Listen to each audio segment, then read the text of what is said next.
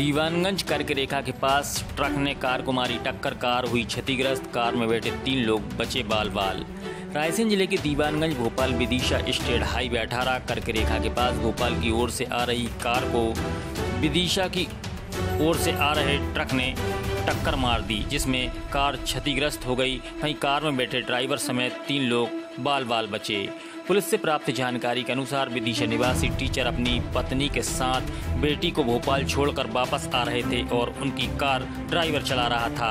दीवानगंज के कर्क रेखा के पास पहुँचने पर सामने से आ रहे तेज रफ्तार ट्रक ने ट्रक के पिछले हिस्से से कार में टक्कर मार दी और ट्रक लेकर ट्रक चालक मौके से फरार हो गया, जिसमें कार बुरी तरीके से क्षतिग्रस्त हो गई और कार का एयरबैग खुल गया। वहीं कार में बैठे ड्राइवर समेत तीन लोग बाल बाल बचे, जिन्हें कोई चोट नहीं आई है। सूचना मिलते ही मौके पर दीवानगंज पुलिस पहुँची। फरियादी की रिपोर्ट पर ट्रक चालक के विरुद्ध मामला